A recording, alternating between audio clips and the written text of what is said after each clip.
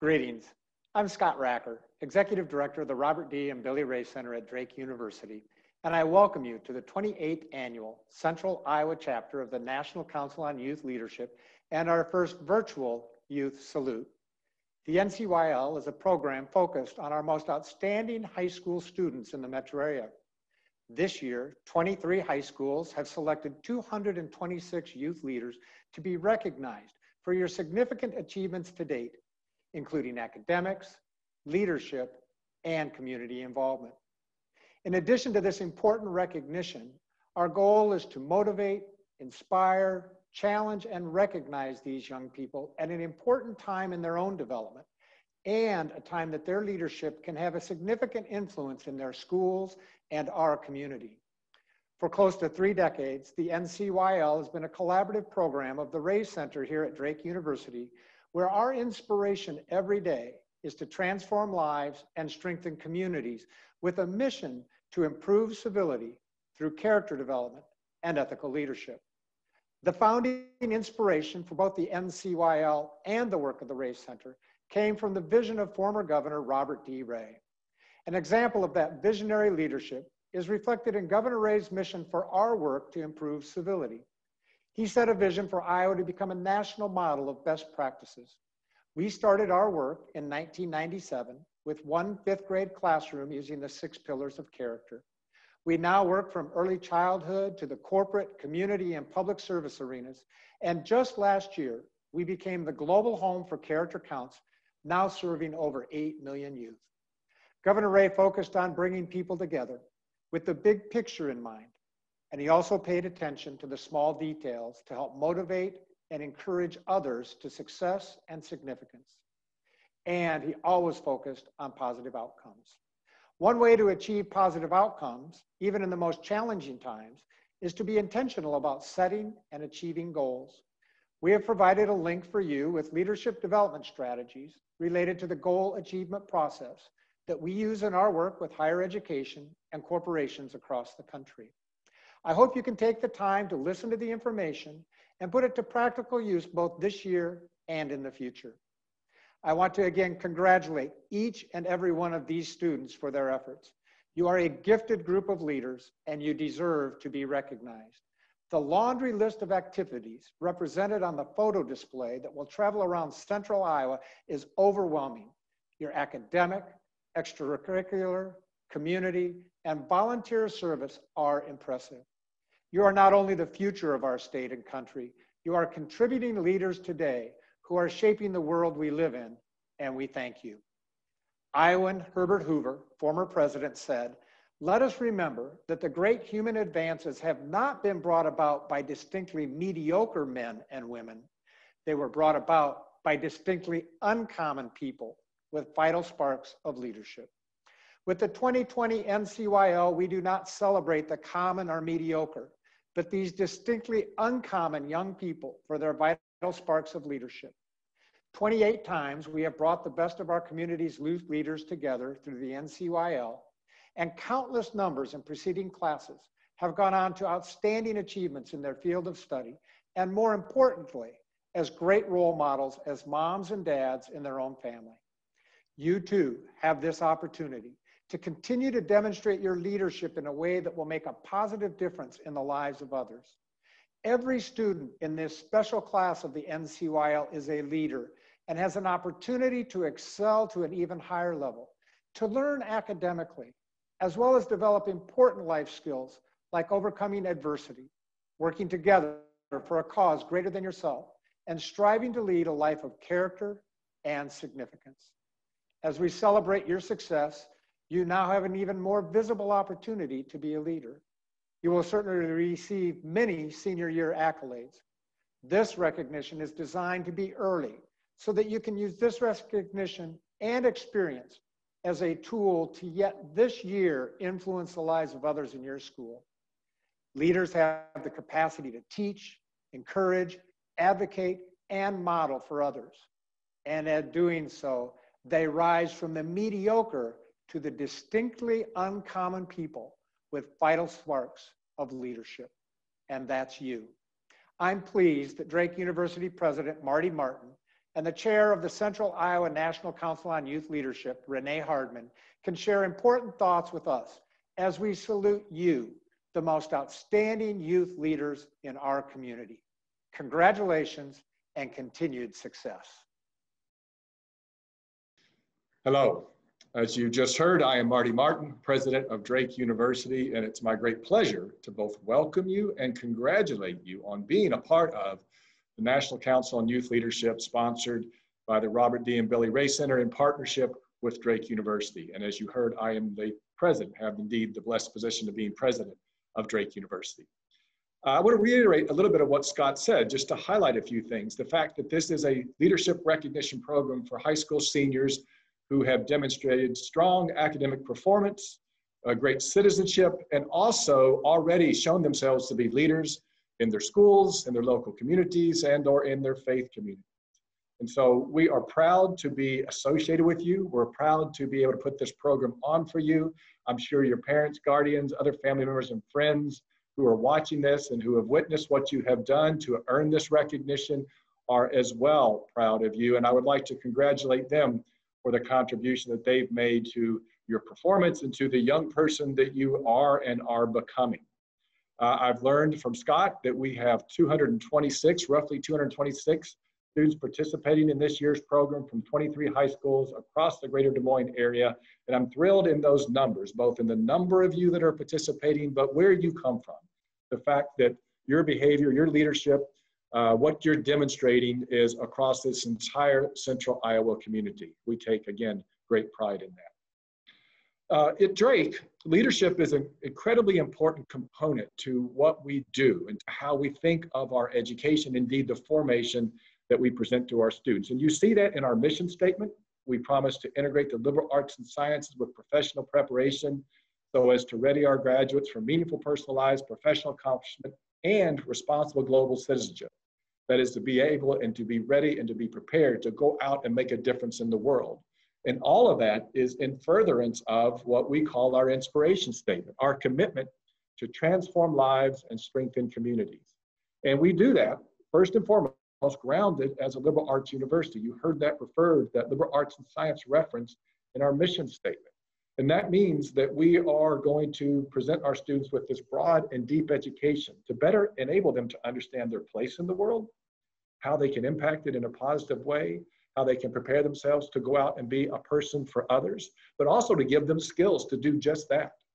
In the liberal arts orientation, that means acquiring the skills of critical thinking, analytical reasoning, the ability to take massive amounts of data to organize it, present it back to others, thus to communicate in written and oral form, to work with others, particularly across boundaries, however those boundaries might be defined, to be followers and then ultimately leaders. And then they're going to combine that with expertise in an area. That's that professional preparation, all in furtherance of the three things I mentioned a moment ago meaningful, personalized, professional accomplishment, and responsible global citizenship. Because it's that platform meaningful, personalized, professional accomplishment, responsible global citizenship, citizenship that prepares our students to then go out and be ultimately leaders in their communities, even more powerfully than they would have been before they came to Drake. All towards the purpose of, again, transforming lives and strengthening communities. So it ultimately, our commitment to leadership is really grounded in the notion of servant leadership. It's not about any one of us who takes on the mantle of leader. It's about how we serve others, and particularly how we serve them in challenging times. And we all appreciate that at this moment in time, we are in challenging times in many different ways. We're battling the coronavirus, we're battling for racial justice, we're battling in this space of politics, and perhaps battling too much in the space of politics. You know, one of the guiding principles of the Robert D. and Billie Ray Center is the notion of civility, because out of civility comes understanding, and out of kind of understanding comes progress. And we encourage our students and we encourage ourselves as servant leaders to ground ourselves in that notion of civility, in that value of civility. And that comes from our commitment to be here for others and to find a path forward that does benefit all. Again, transforming lives, strengthening communities. And you've already shown your proclivity to do that. Indeed, that's why you're being recognized. But there's more work to be done. And I know you appreciate this. You might even appreciate it more than I do, given what you're witnessing around you at such an early age. But I want you to know that Drake University is a place that embodies those principles, embodies those values, those practices that are very consistent with what you've already made manifest in your own lives by virtue of the recognition that you're receiving as part of the National Council on Youth Leadership. So as you go forward, recognize always that the function of leadership, the challenge of leadership is never about you or me, whoever does take up that mantle of leader. It's about how we use what's available to us, our own talents, our skills, our knowledge, and the opportunities that we're given, whether it's by means of being put in a position or by having some influence uh, or connection to others, we use that in service to others. We use that to solve problems that lift up our communities, that make others' lives better than they would be without us. You know, there's that old adage that we all want to, or we all at least should aspire to leave the world better than we found it. And I refer to that constantly in my kind of internal thinking as well as my external expression. That we all should have that aspiration, leave the world better than we found it. You're doing that now, but there's so much more to be done. And the next stage for you is going to be your college career and how you use your time in that environment to make a difference, but particularly how you prepare yourself during that time to make a difference over the long haul. And make a difference indeed is what we need you to do. I've already referred to the fact that we find ourselves in incredibly challenging times. And you know this, you see it every day in the news, you see it perhaps every day in your own experience. But you are ready for this, and you're getting yourself even more prepared day by day, and you will as you go into college, and you will as you come out of college. And we need you to do that. We need you to accept that challenge. Uh, we really can't have anybody sitting on the sidelines these days. There's too much work to be done. There's too much good to be accomplished. We need everybody in there, whether it's a, as a leader or a follower. And both of those roles are critically important. And at different times, one person will be one thing, and another time they'll be the other. But they're all critically, they're both critically important, and they both must be grounded in this notion of service service to others. So taking what you're already doing and building up stronger capacity, more resilience in that space, more talent, more skill in that space to continue to go forward and make a difference in the lives of others. So that's my call to you is don't be in a sense uh, over, overwhelmed by what's happening around us. It is at times overwhelming even for me, someone who's lived the many years that I've had, I have and have been in the many uh, leadership roles that I've been in. Nevertheless, at times it certainly does feel overwhelming, but you still got to steel yourself and step up, get up, and get back in that that uh, that challenge, uh, that, that that that responsibility of meeting the challenges that are confronting us. And I know you will because you're already showing that that's the kind of person that you are. So again, I'll close by congratulating you on your recognition for the National Council on Youth Leadership. I'll close by congratulating your parents, your guardians, your siblings, your other family members and friends and teachers, all who have supported you so far and who are prepared to support you even further uh, to help you accomplish, uh, to stay on this road of accomplishment that you've placed yourself on. And I do hope, I certainly do hope that after your senior year, as you move on to your life in college, that many of you will select Drake as that home because I'm telling you, this is a place that's very consistent with what you've already shown yourselves to be. Someone who takes academics seriously, someone who takes service to others seriously, someone who takes seriously making a difference in the world. Drake, it's just that kind of place. Again, congratulations and thank you. Enjoy the rest of this presentation. Hi, my name is Renee Hardman, and I am the Des Moines coordinator of the National Council on Youth Leadership. My other roles include serving as a National Advisory Board member of the Robert D. and Billie Ray Center located on the campus of Drake University. I'm proud CEO of Big Brothers Big Sisters of Central Iowa, and finally, a West Des Moines City Councilwoman. Let me first start off by extending my heartfelt gratitude to President Martin of Drake University, Scott Raecker, Executive Director of the Ray Center, Heidi Kramer, and Hillary uh, Ortman, and Tim Vorland Photography for the important roles that each play in the success of this unique and impactful leadership program. I can't go any further without congratulating each of you for being in the 2020 class of selected leaders. It wasn't easy getting there, and your hard work and dedication speaks for itself.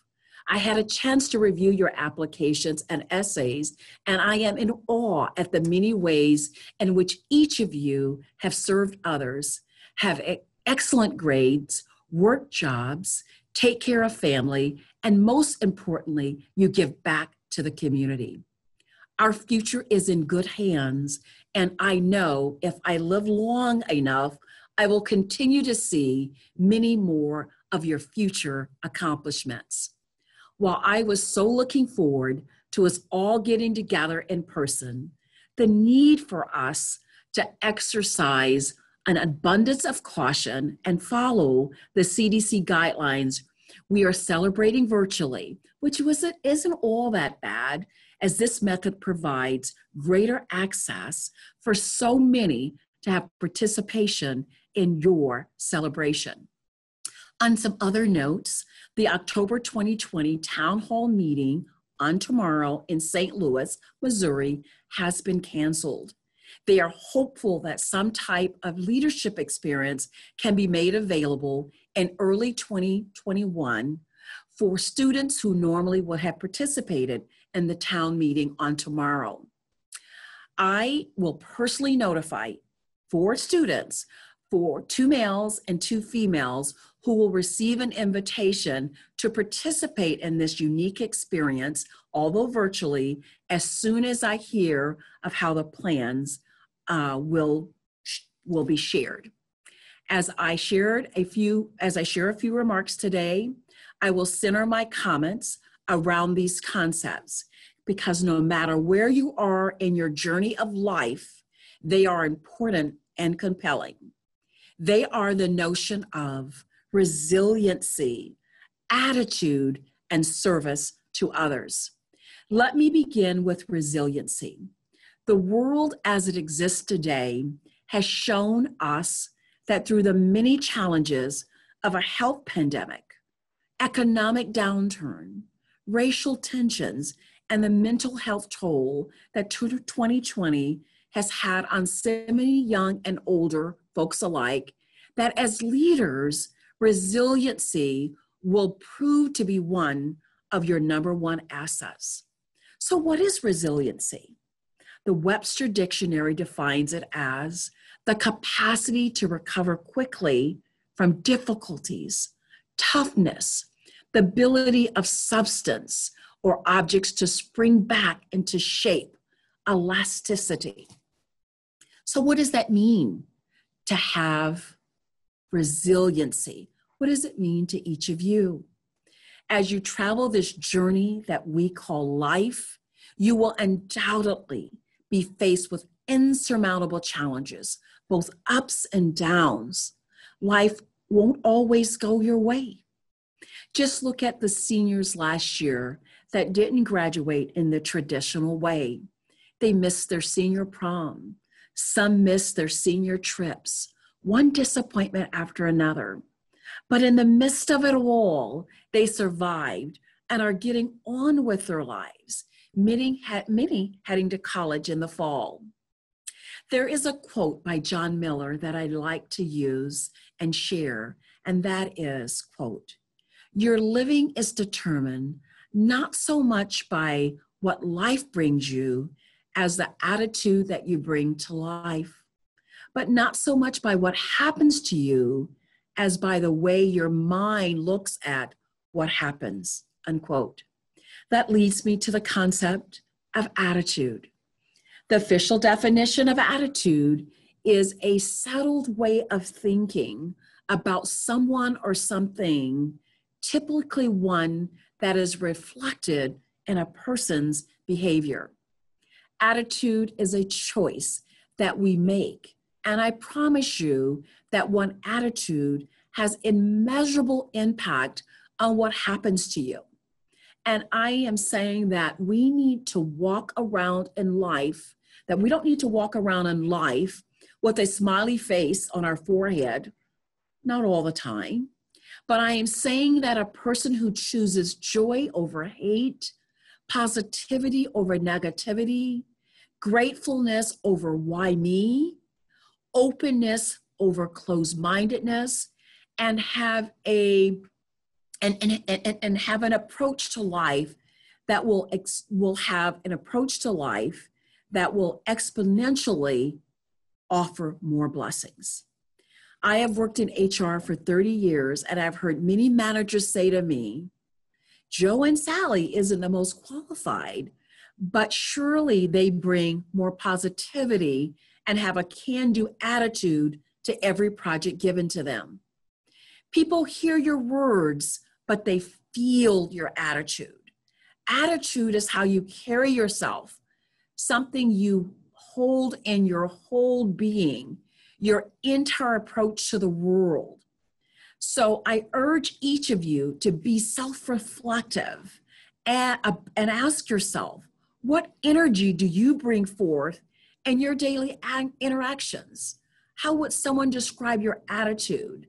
Not when things are going well, but during times of adversity and disappointment. The last concept is service, and that's one of my favorite. And as a young person, the value of giving of yourself is invaluable. When I was raised by a mom, I was raised with three, uh, two other sisters. There were three of us. And my mom's goals for us was to live a life of faith. She wanted us each to go to college, but more importantly, to always remember when you when you give to others and when you go where you're going and get where you're going, always look back and find another person to lift up. Serve another. That has stayed with me all of my life as I've given service from the day that I graduated from my alma mater, Drake University. As Dr. Martin Luther King says, quote, everyone can be great because anybody can serve. You don't have to have a college degree to serve. You don't have to make your subject and verb agree to serve. You only need a heart full of grace, a soul generated by love, unquote. You are growing up in a world today in which we have seen for ourselves that we live in a country that includes the haves and the have nots. The person that has served its country well is one that empathizes with someone who is in the have not category, someone who is different. It could be a homeless person, the elderly, the disabled, the mentally challenged. The list goes on and on the importance of serving others cannot be overemphasized. Tapping into your gifts and passions builds self confidence, energy, and strength. So, as a current leader and a future leader, I, it will call upon you to pursue and look beyond yourself, to pursue your passion and look beyond yourself and give of your time your talent and treasure and finances to someone or an organization that needs you. A good life is one that requires us to be a good, faithful servant, which means that you are resilient. You maintain an attitude of gratefulness, and that at the end of the day, you made life better for another person that service. I'd like to close by sharing with you my favorite poem, and it's called The Dash. And it goes like this and The Dash by Linda Ellis. I, I read of a man who stood to speak at the funeral of a friend. He referred to the dates on the tombstone from the beginning to the end. He noted that first came the date of birth and spoke of the following date with tears. But what he said mattered most was the dash between those years. For that dash represents all the time they spent alive on earth. And now only those who love them know what that little line is worth. For it matters not how much we own the cars, the house, the cash. What matters is how we live and love and how we spend our dash. So think about this long and hard. How are things you'd like to change? For you never know how much time is left that still can be rearranged. To be less quick to anger and show appreciation more and love the people in our lives like we never loved before. If we treat each other with respect and more often wear a smile, remembering that this special dash might only last a little while. So when your eulogy is being read with your life's actions to rehash, would you be proud of the things they say about how you lived your dash? I close with saying congratulations to each and every one of you. I am so excited about your future and what is to come and how you will live your dash. Thank you.